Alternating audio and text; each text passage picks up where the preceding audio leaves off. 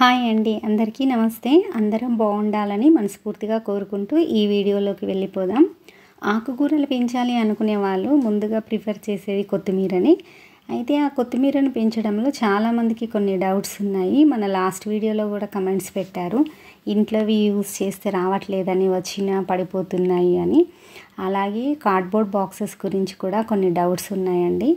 So వాటిని నేనైతే ఈ వీడియోలో మీకు క్లియర్ చేస్తాను. అలాగే నిన్న మా ఇంటికి కాస్త మా ఇంట్లో మా ఇంటికి దూరంగా ఉండే ఒక ఆవిడ వచ్చింది. నాకు పెద్ద పరిచయం కూడా లేదు.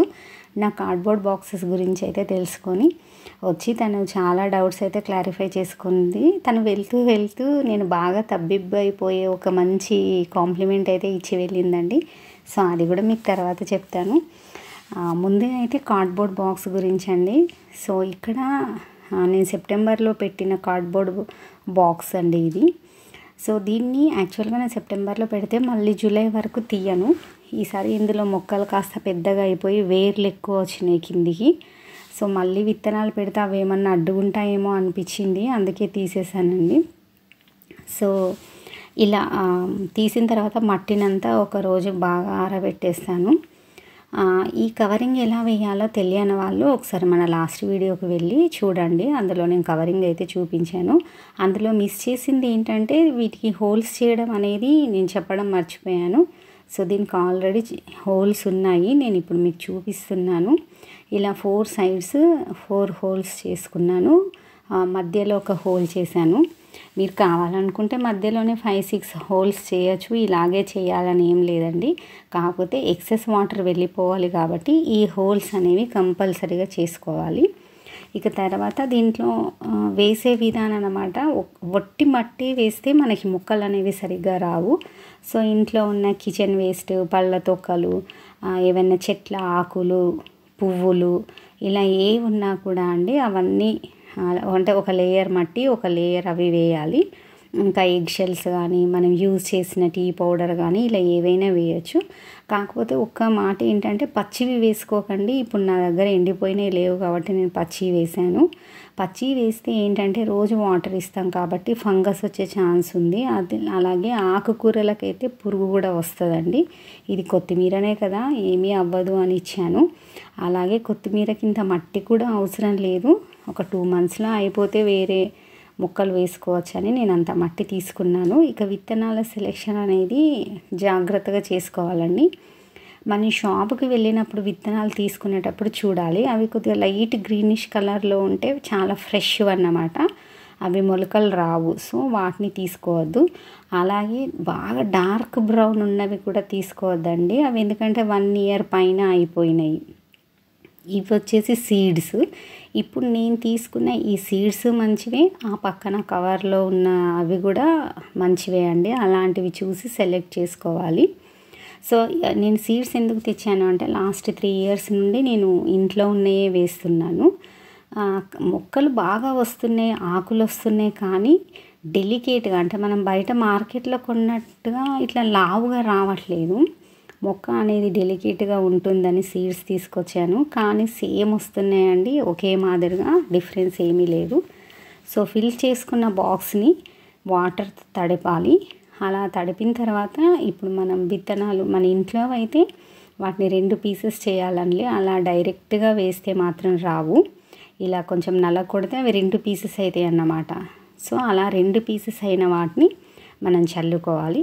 ఇక్కడ ముఖ్యంగా గమనించాల్సింది నేను చెప్పినట్టు విత్తనాల సెలెక్షన్ అది కంపల్సరీ. ఇక రెండవది ఏంటంటే విత్తనాలు చాలామంది పల్చగా చల్లుతారండి. అది చాలా తప్పు. విత్తనాలను ఎక్కువగా చల్లాలి. కొత్తిమీర కానీ మెంతి కానీ విత్తనాలు అనేటివి ఎక్కువగా చల్లితే ప్లాంట్ స్టెమ్ డెలికేట్గా ఉంటుంది కాబట్టి అవి మొక్కలు పెరుగుతూ ఉంటే ఒకదానికొకటి సపోర్ట్గా ఉండి నిలబడతాయి. అలా కాకుండా మీరు పల్చగా చల్లితే అది క్యారెట్ అండి ఇంట్లో మొలకొచ్చిందని పెట్టాను.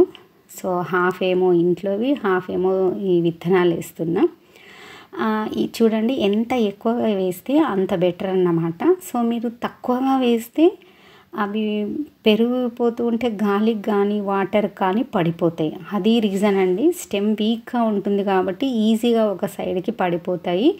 అదే విత్తనాలు ఎక్కువగా ఉండి మొక్కలు ఎక్కువగా ఉంటే సపోర్టింగ్గా ఉండి అస్సలు పడవు. అలాగే నించొని చక్కగా వస్తాయి. తర్వాత పైన ఒక లేయర్ కూడా కాస్త మట్టి వేయండి. ఇక్కడ ఇది ఒట్టి ఎర్ర మట్టేనండి. అది ఏమీ కాదు. సో అది ఆ నల్ల మట్టి ఎందుకు వేయట్లేదంటే అందులో కొన్ని ఎగ్షెల్స్ కొంచెం పెద్దగా ఉన్నాయి కదా.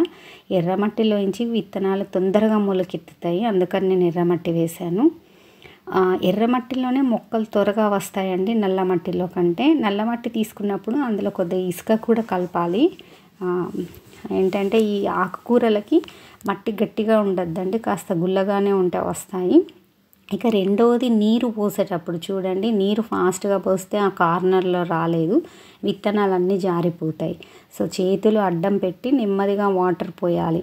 ఇలా పెద్ద మొక్కలకి ఎలా పోసినా ఏం కాదండి. కానీ కొత్తిమీర మెంతి అట్లా చిన్న మొక్కలు ఉన్నప్పుడు చెయ్యి అడ్డం పెట్టి జాగ్రత్తగా పోస్తేనే ఆ మొక్కలు అనేవి నిలబడతాయి. మీరు ఫోర్స్గా పోసినా కూడా మొక్కలు అనేవి పడిపోతాయి. చూడండి ఇక్కడ కూడా జారిపోయినాయి కాబట్టి ఆ మధ్యలో మొక్కలు రాలేదు. సో మీరు పెట్టేటప్పుడు విత్తనాల సెలెక్షన్ కరెక్ట్గా ఉండాలి. అలాగే ఎక్కువ విత్తనాలు చల్లుకోవాలి కింద పడిపోకుండా తర్వాత చేత్తో అయితే జాగ్రత్తగా నీళ్ళు పోయాలి. అలాంటప్పుడు మీకు ఏమీ కాదండి చక్కగా కొత్తిమీర వస్తుంది. ఇంకా అది ఇయర్ రావాలి అంటే ఇలాంటి ఒక మూడు నాలుగు డబ్బాలు తీసుకోండి. చిన్న అయినా పర్వాలేదు ఇంత పెద్ద అవసరం లేదు.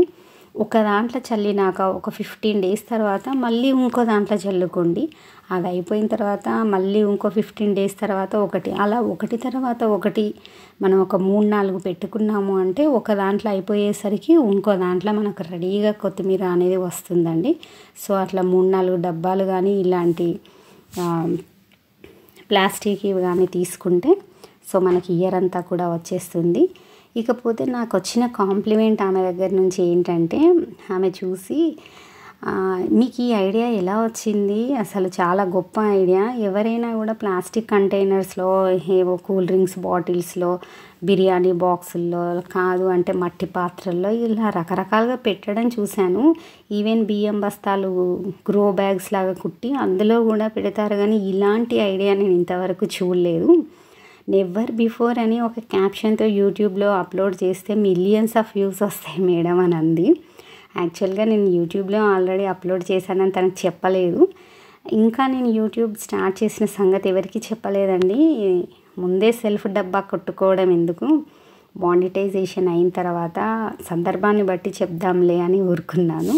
సో అదండి తనకు తను నాకు ఇచ్చిన మంచి కాంప్లిమెంట్ నిజమే తెలియదండి ఇదైతే నాకు వచ్చిన ఐడియా. అండ్ ఈ నేను చెప్పే విషయంలో కూడా experience is the best teacher అంటారు కదా. సో నా ఈ ఫోర్ ఇయర్స్ ఎక్స్పీరియన్స్ని బట్టి నేను చెప్పానే తప్ప ఈ టెర్రస్ గార్డెనింగ్ గురించి నేను ప్రత్యేకంగా ఎటువంటి శిక్షణ అయితే పొందలేదండి. కానీ నాకైతే మొక్కలు వస్తున్నాయి. నేను ఇంతకు ముందు చెప్పినట్టే రైస్ వాటరు పప్పు నీరు అట్లాంటివే ఇస్తూ ఉంటానండి. ఏదైనా పురుగు అలాంటివి వస్తే అల్లం వెల్లుల్లి అవన్నీ అలాంటివి ఇస్తాను. సో దాని గురించి క్లియర్గా కావాలి అంటే మళ్ళీ ఒక వీడియో చేస్తాను. మరి ఈ వీడియోపై మీ అభిప్రాయం ఏంటో చెప్పండి. మళ్ళీ నెక్స్ట్ వీడియోలో కలుద్దాం.